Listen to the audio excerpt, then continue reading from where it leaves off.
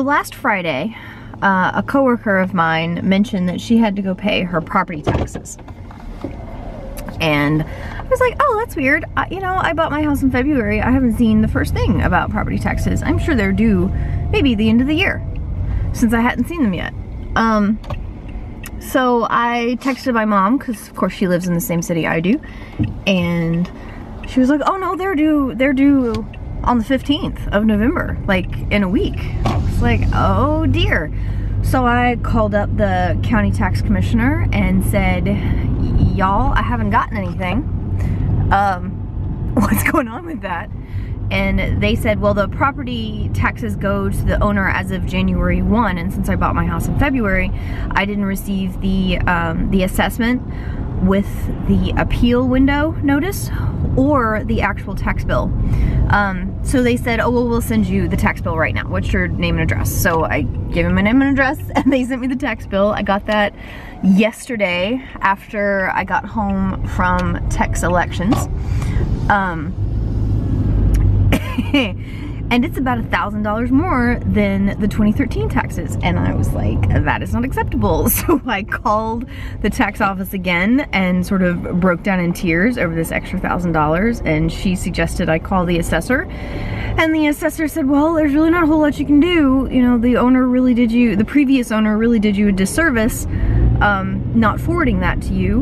Boy that's just awful. I'm so sorry. Let me have your $3,000 so uh, I ended up, um, I paid it, but it, it's, it, it's so frustrating when people don't do what's right.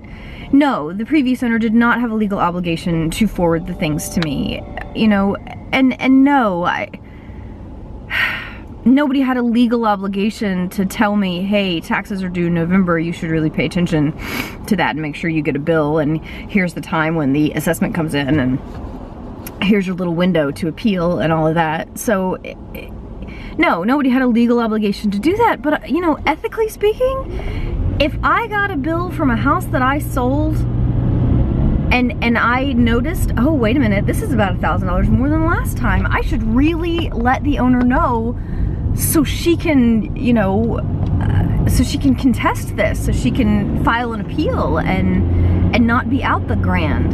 And then when I get the bill, clearly things have not been updated at the records office. Clearly the new owner did not get any information on this. I should really forward this to her so she can pay her taxes on time. No, I, he didn't do anything. He didn't even, he didn't scan it, he didn't take a picture of it, he didn't send a little note to his agent, who was his friend, by the way, so it wouldn't have been awkward. Like, nothing. Nothing. I don't know how people can go throughout life not doing what's right.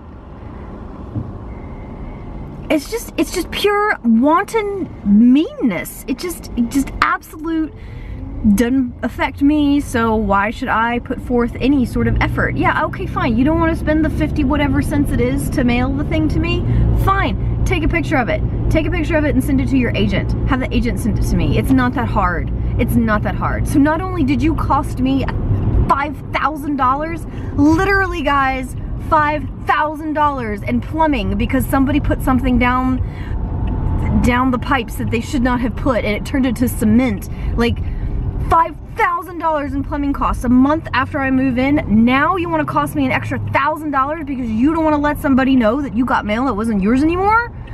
Seriously? This is a thing that is happening right now? This is the way that you choose to live your life? as a jerk? Fine, fine. If that's how you want to roll, that's how you want to roll. But, you know, karma is one of God's greatest inventions. And I really hope karma kicks you in the nose. In the nose